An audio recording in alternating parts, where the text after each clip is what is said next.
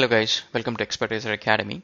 So we are into the AutoCAD plugin development and we're going to see uh, how to do a regen all command using code. So we know that we always use this command called REA or redraw. So these commands generally goes and redraws everything on the screen and then if something is not reflecting uh, due to some changes that has happened um, so this command generally helps you to get the latest object onto the screen. So this is regen all. So now we're going to use code to do the same function. So now let's quickly run through what is the difference between redraw and um, regen. So now if you look at it, um, so the redraw function, so the method will update the display or uh, update screen. So this will update the screen as such, the uh, the graphic uh, graphical view of AutoCAD engine.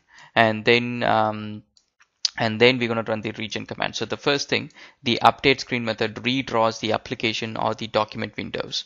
And then the regen method regenerates the graphical objects into the drawing window. That means if you have a rectangle, circle, dimensions, so it, it goes in the regen generally goes and put them on back into the graphical screen.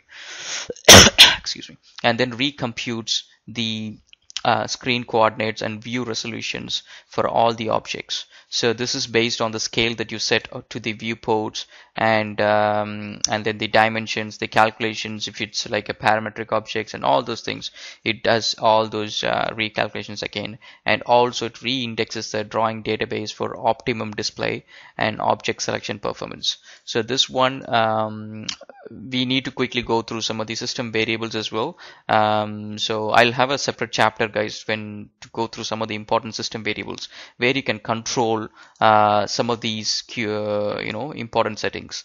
So to improve performance of your DWG file. So this is all it does. So now this function what I've done is uh, added as a command called uh, regme. And then uh, I'm going to do the update command. So as I said it will update the application layer and the document and things like that.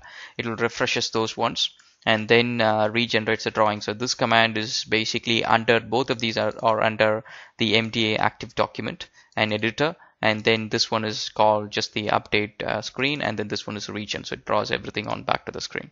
Alright so that's about it guys and uh, if you have any specific questions let me know and uh, subscribe to the channel